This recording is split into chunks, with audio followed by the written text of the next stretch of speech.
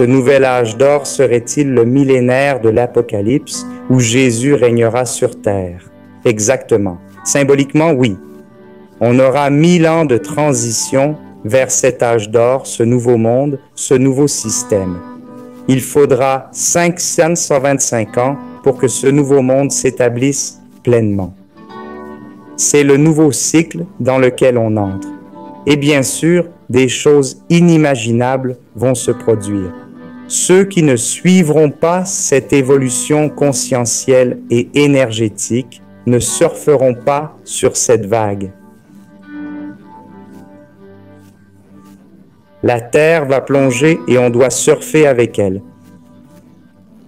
Faut savoir prendre la vague, sinon on tombe et on perd le mouvement de la Terre. On doit donc travailler notre corps, esprit, âme, notre nature intégrale pour préparer nos corps à cette transition.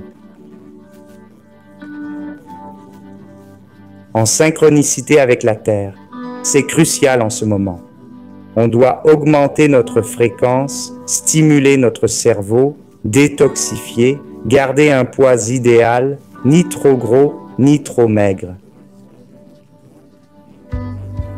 Le poids idéal est le nécessaire pour métaboliser ces nouvelles fréquences et changements mondiaux à venir. Beaucoup disent que la Terre passe à la cinquième dimension.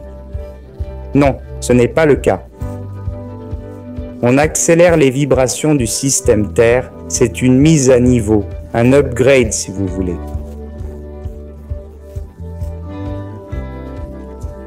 Au lieu d'un ordi lent, ce sera un ordi bien plus puissant et rapide. Nous, comme fichiers, devons supporter le traitement de cette nouvelle machine. C'est ce qui va arriver. Dans un corps, nos cellules doivent suivre cette transformation. On doit bouger et suivre cette vague de transition. Sinon, on aura d'autres chances d'évoluer pour ce nouvel âge d'or à venir. Ce sera toujours un monde 3D, mais avec des vibrations bien plus rapides et évolutives qu'avant. Ce sera vraiment un nouveau monde.